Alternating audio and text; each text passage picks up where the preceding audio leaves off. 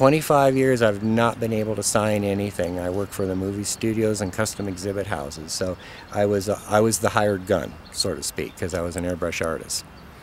And um, now I'm able to sign my work.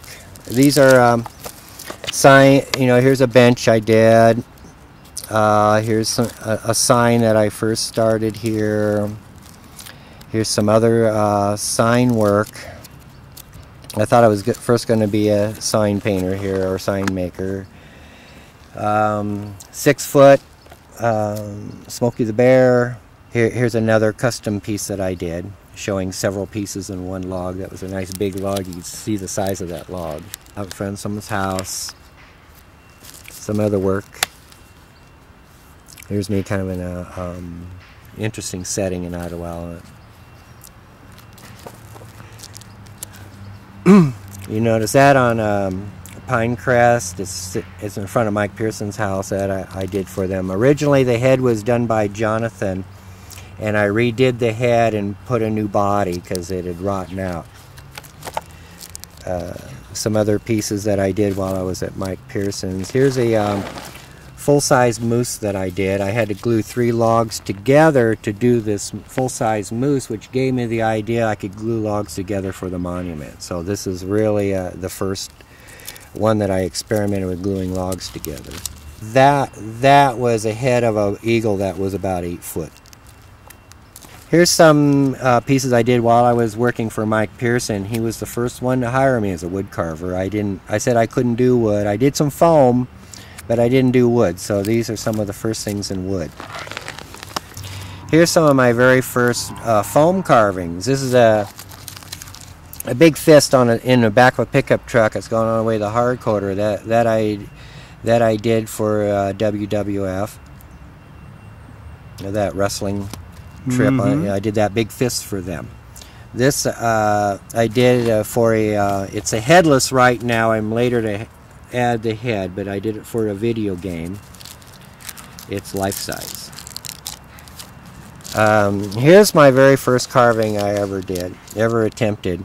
And that's because the foam shaper didn't show up. Here I am uh, working on the waterfall right here. And here's a tree laying down here which became this tree. And here's the waterfall and here's the ruins. And this is what it looked like at the trade show. And this is what started me carving right here. I didn't know I could carve anything. And they just wanted me to do a three-dimensional painting that they could walk into. Um, here's one of the exhibits that, that I built and painted. It was for a video game. Uh, these are the doors of Narnia. Um, I did the duplicate. Uh, I don't even know duplicate, but I did a set of door the for the movie door. You know the Narnia.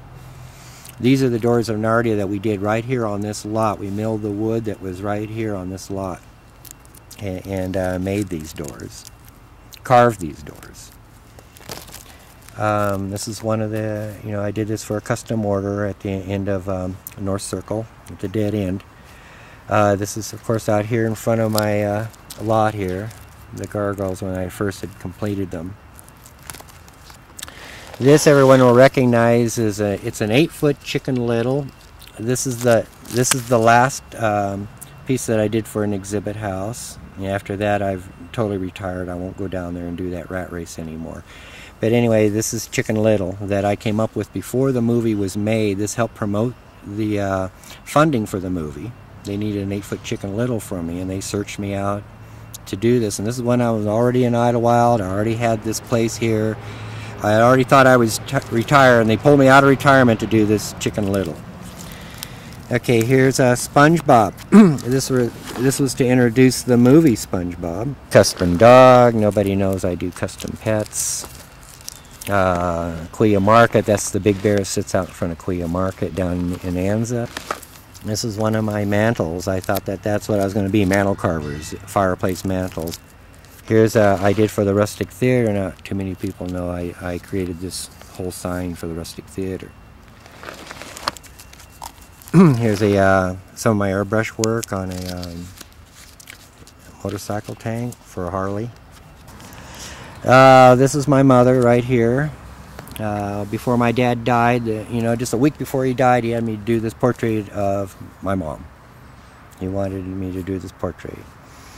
And he kept it in his uh, hospital room, and that's what he looked at. Um, this is uh, my dad. Uh, I thought this was my retirement job. I will never retire. You know, I, I can never retire. I mean, what's retirement? You know, it's not sitting down in a chair watching soap operas. To me, I decided retirement is picking up a chainsaw and working every day.